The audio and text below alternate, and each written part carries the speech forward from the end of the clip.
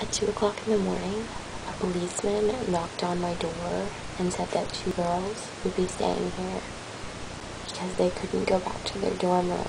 It wasn't safe there anymore. Um, I don't know where they are right now. I don't think anyone's in the apartment. I finished my essay about 6 o'clock in the morning last night. I don't really like it, but I'm hoping that, you know, it's still alright.